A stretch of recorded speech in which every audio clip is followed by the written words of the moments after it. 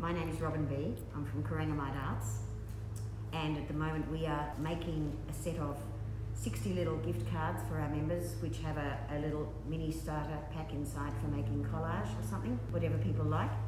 Um, and we're sending one of these to all of our members just to stay connected with them at the moment while the shed is closed. We'd love for the shed for our members